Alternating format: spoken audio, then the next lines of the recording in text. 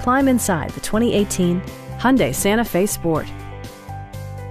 Under the hood, you'll find a four-cylinder engine with more than 200 horsepower, providing a smooth and predictable driving experience. Well-tuned suspension and stability control deliver a spirited yet composed ride and drive. It's equipped with tons of terrific amenities, but it won't break your budget. Like heated seats, leather upholstery, a blind spot monitoring system, power moonroof, power door mirrors and heated door mirrors, and more.